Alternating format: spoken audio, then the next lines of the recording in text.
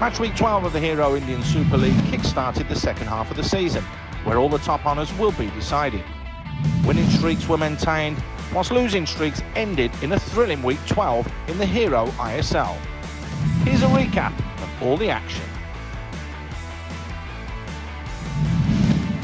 Fresh off back-to-back victories, FC Goa arrived at the Furnace to take on Jamshedpur FC, who were on a seven-match losing streak.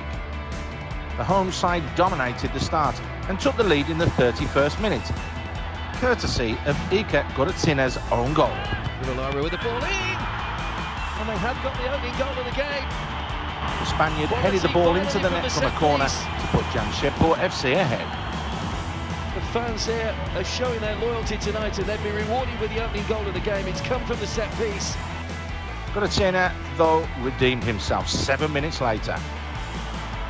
And Guarrotxena makes amends for the own goal at the other end. The 29-year-old nodded home from close range off a fine cross from Makan Chothe to level the scores. Just five minutes into the second half, Jamshedpur retook the lead Oh, it's a poor mistake by the goalkeeper Dheeraj, and he'll be walked in by Ishan Pandita. Goal keeper Dheeraj Singh failed to clear the ball after receiving a back pass. And an alert, Ishan Pandita whisked it off from underneath Dheeraj before slotting it calmly into an empty net. Jamshedpur looks set to claim just their second win of the season, but Guarrotxena struck in the 89th minute to grab a point for the Gaurs. It's an equaliser for FC Goa, and the Spaniard scores again. With a 1-0 win in the home fixture in October, Hyderabad were hoping to do the double over Bengaluru FC when they faced the Blues on Friday.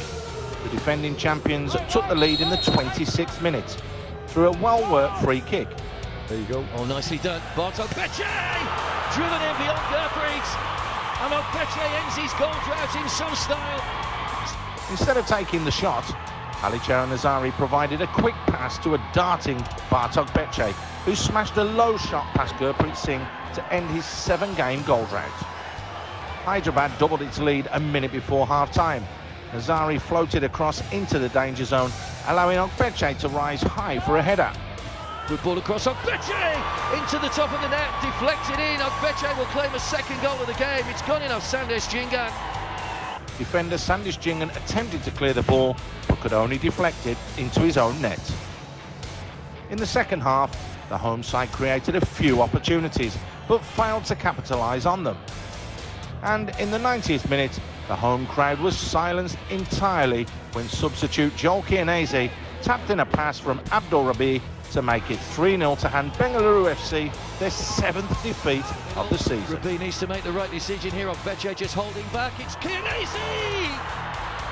Guided in for a third, job complete. It's another defeat for Bengaluru. Sunil Chhetri pointing out what's gone wrong.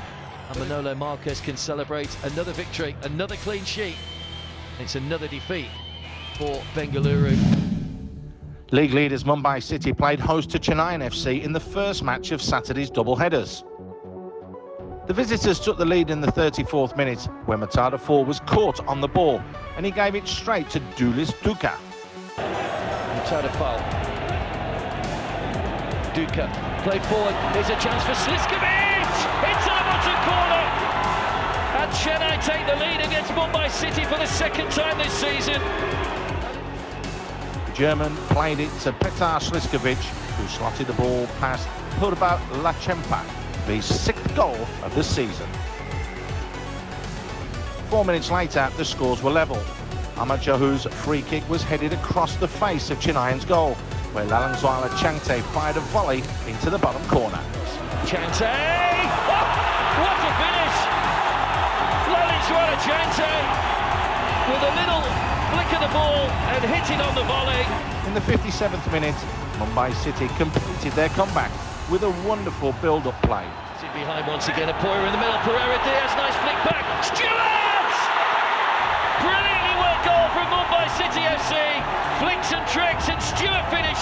And you cannot defend against that.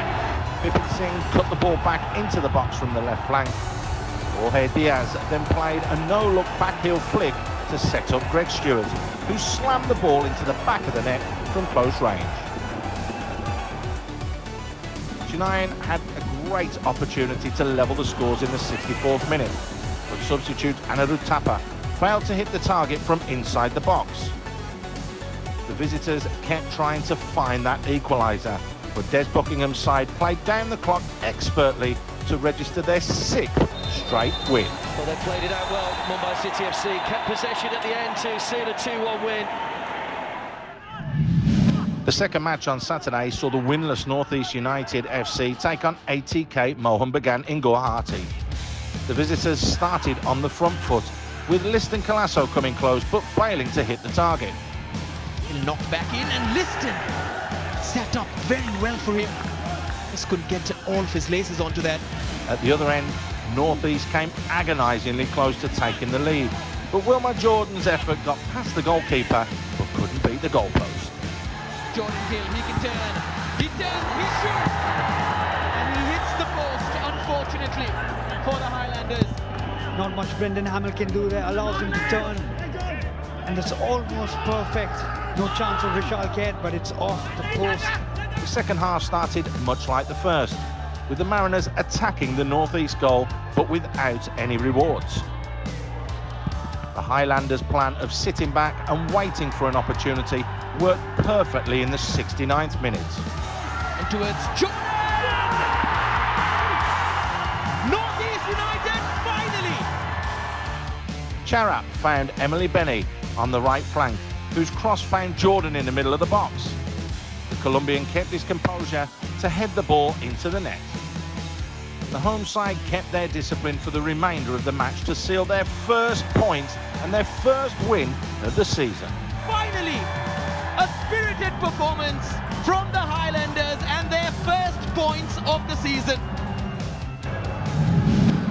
The final game of match week 12 saw the Kerala Blasters take on Odisha FC at Kochi. The visitors made a strong start and were inches from scoring the opening goal. Raynier with the attempt! Oh! Off the woodwork! Ivan Kaluzhny's clearance went straight to Raynier Fernandes on the edge of the box. The midfielder let one fly and saw it ricochet off the crossbar before a tightly marked Adrian Luna fired the rebound high. If the first half belonged to Odisha, the hosts took control in the second. In the 71st minute, Sahal Abdul Samad brilliantly lobbed the ball into the path of Nihal Sudeesh, but he just evaded the substitute. Those late runs that can be very tricky, and he almost gets to that.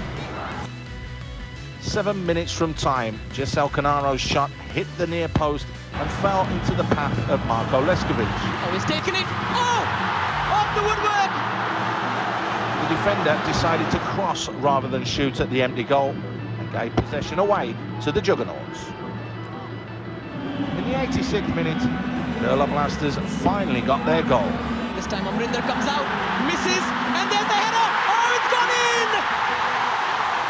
Kerala Blasters have turned the tide! Amrinder Singh completely missed Bryce Miranda's cross from the left into the box, and Sandeep Singh headed the ball into an empty net. The win helps the Kerala Blasters stretch their unbeaten streak to seven games. How the heavens resound with unkind chuckles on Odisha! So FC Goa managed to draw at Jamshedpur. Hyderabad FC proved too strong for Bengaluru. Hard-fought home wins for Mumbai City and the Kerala Blasters, but the result of match week 12 was Northeast United FC getting their first win of the season. With that, the Kerala Blasters climb up to third spot for the first time this season. FC Goa also move up a place to fifth, whilst Mumbai City remain at the top of the table.